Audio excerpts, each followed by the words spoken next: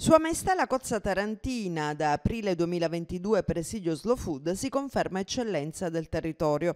Quest'anno la produzione locale è di qualità elevata, complice la temperatura del Mar Piccolo, che, salvo imprevisti, potrà consentire già entro fine mese uno smaltimento della produzione tra gli 80 e i 100 mila quintali. Tuttavia ci sono delle criticità che possono minare gli equilibri produttivi e commerciali della Cozza Tarantina.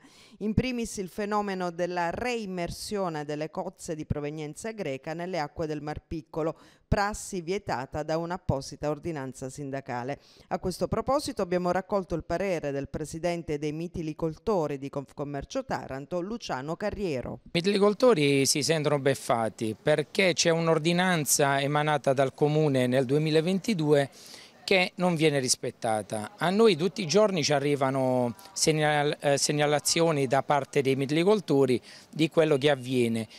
Noi chiediamo fermamente e urgente controlli da parte delle autorità, Guardia di Finanza, Polizia, Capitaneria di Porto, chiediamo aiuto. Arrivano queste cozze greche, eh, vengono immerse nel nostro mare, li tolgono lo stress del viaggio e poi viene venduta per prodotto autoctono, quindi non è possibile e accettabile una cosa del genere. Ma una boccata di ossigeno per i mitilicoltori arriva dalla unificazione delle concessioni per le attività del settore, a cui si è aggiunti attraverso un percorso di collaborazione con il Comune di Taranto. Ancora Luciano Carriero. Con il Comune di Taranto ogni mese ci, ci riuniamo in un tavolo tecnico con l'assessore Ciracè e sta dando i primi, primi frutti. Questa operazione dell'unificazione delle concessioni è un eh, sospiro di sollievo per eh, i mitilicoltori che sono costretti ad avere più titoli in, questa, in, questo modo due, tre, quattro piccole concessioni vengono unificate pagando soltanto un canone.